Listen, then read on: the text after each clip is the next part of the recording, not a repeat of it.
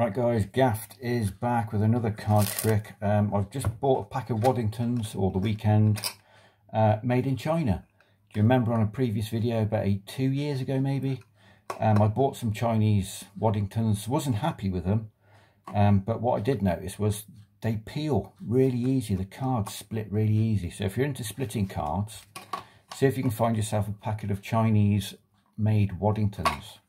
Uh, quick card trick for you, give the cards a shuffle. Spectator's got a free choice to pick any card.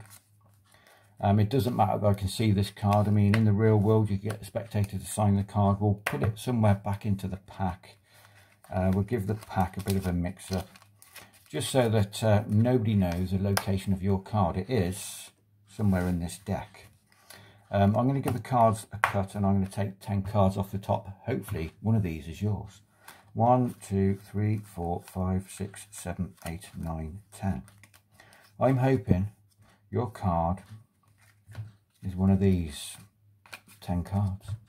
So we've got the King of Spades, the Queen of Spades, the Eight of Hearts, the Ace of Hearts, the Four of Clubs, the Queen of Diamonds, the King of Diamonds, the Four of Spades, the Ten of Clubs and the Seven of Hearts. I'm hoping your card was one of these. Now, you're probably going to tell me at this point it's not in this pack. It is still in this pack. We'll try something. Watch. Did you see it? Did you see it jump through?